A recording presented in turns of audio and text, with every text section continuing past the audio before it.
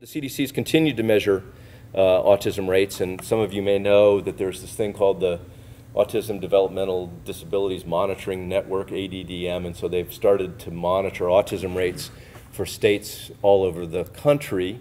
They now measure only full spectrum. They don't separate severity, so they don't know autistic, full syndrome autism from Asperger's. Uh, and then they claim that they're just broadening the, the diagnostic criteria without knowing what, you know, you could control for that. So they, they started measuring full spectrum rates all over the country. Uh, interest, they picked a sample of cases. They started with New Jersey, which had rates from the very beginning of over 1 in 100, and then inexplicably they dropped New Jersey from the sample.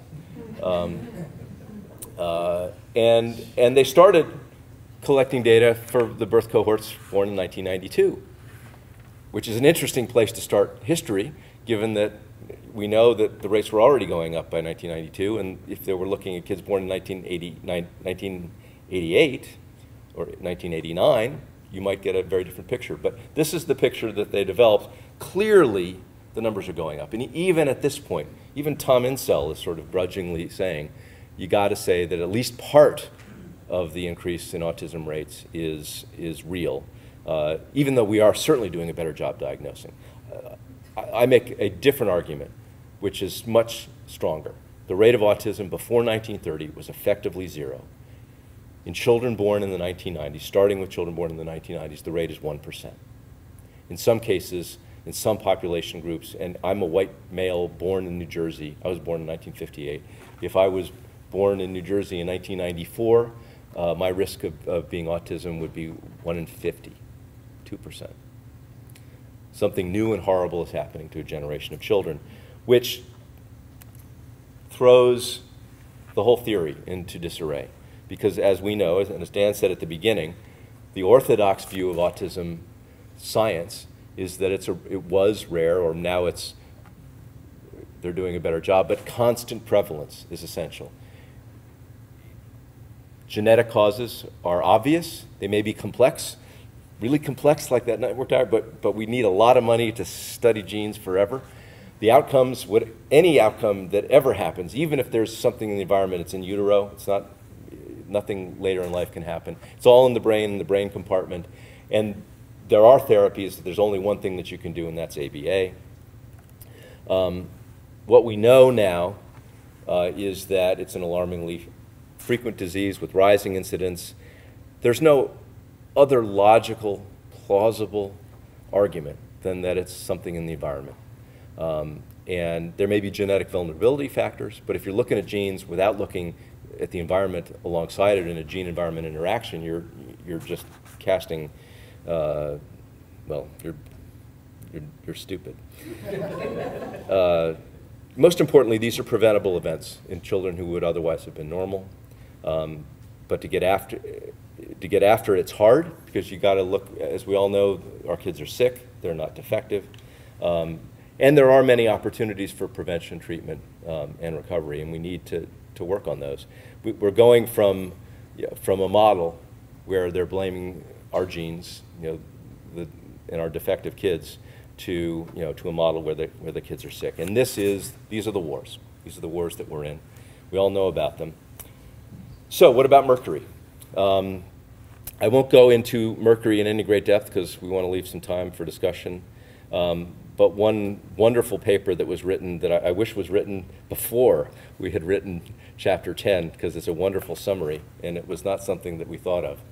Uh, actually looked at the evidence. Kathy DeSoto, some of you may know her work, did a very simple thing. She did a search in PubMed, autism and mercury or autism and heavy metals.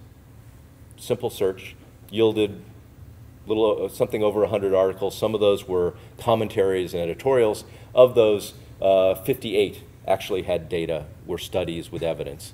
And she reviewed those studies, and uh, depending, you, you, can actually drive the number up, but about, you know, on a three to one level, the evidence supported a role for mercury in autism.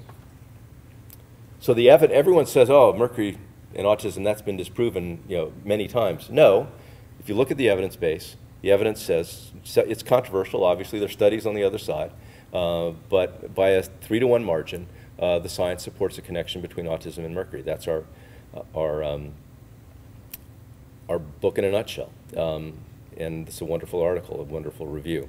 Um, one of the studies that's not in here, not on her list of, of 43, is another uh, wonderful exercise from the CDC, which was their first look, their first honest look at the data. Um, and we only know this because someone, for some un unknown reason, put the spreadsheets in a FOIA request. Any of you who've ever done a FOIA request know that the game with the government is to give people nothing.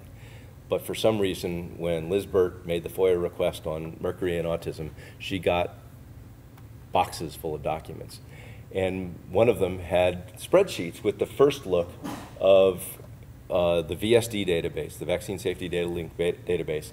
And uh, one cut of these was to take thimerosal exposure at one month of age, uh, they had some zero exposures, and they had some that actually had more than the Hep B exposure. So these were hepatitis B immunoglobulin. These were kids that were getting vaccine exposures and immune globulin exposures. So they had, at one month, they had more than 25 micrograms of mercury, which is a lot. So you had a, a, a, a wide spread, which is helpful in, in, in, in getting through the, the noise and, the, and, and finding a signal. And in, in one of those analyses, the autism risk level was 11 times higher in, uh, in the high exposure group relative to the zero exposure group. So that's, those are tobacco level numbers, folks. I mean, when you get, uh, and this is something that the CDC uh, came up with. As we all know, this got eventually published in Pediatrics, uh, the eventual home for all the worst science in autism, uh, and, uh, and the, the correlation had been uh, reduced to, to nothing. Uh, how did they do that? Well, one way I know that they did that is that we have a, a subsequent paper in, in, which they say the following children were excluded from the analyses. Children that received hepatitis B immunoglobulin, as these were more likely to have higher exposure and outcome levels. So we just took out the data that we didn't like. It's that simple. Um, there are all kinds of other studies. Some of you may have, I, I uh, helped uh, on this paper uh, and did these charts. Um, autistic children, their first baby haircut tends to be uh, much lower than normal children because of, despite the same levels of exposures. Interestingly, these normal children had extraordinarily high mercury exposures with, with uh, uh, the environmental risks that they had, but autistic children for some reason can't excrete it, and, and we also know that uh, even within the autistic group, that the most severe kids had the lowest levels of mercury in their baby hair. Um, so there are biological studies in autistic children. These are some of the studies that DeSoto mentioned. There are also animal models, and one of the things that we've been reduced to in this whole exercise is the, epi the epidemiology wars. And so the CDC will organize a epidemiology study, or public health people will organize it, or vaccine manufacturers will organize it, and uh, and they'll find that thimerosal is good for you. Actually, that's the latest one. Thimerosal is good for you. It protects you against autism. Uh, but you can also do uh, more rigorous uh, uh scientific work in animals. Uh, the animal studies are un nearly unanimous, one exception, but uh, with one exception, completely unanimous that thimerosal at vaccine level doses in infants is harmful.